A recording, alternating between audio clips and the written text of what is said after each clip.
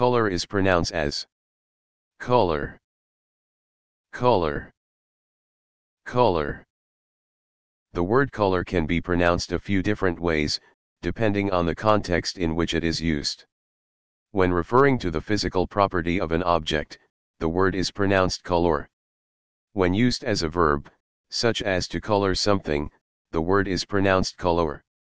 The word can also be pronounced color when referring to the act of adding color to something. The meaning of the word color is a hue or shade that is visible when light reflects off of an object.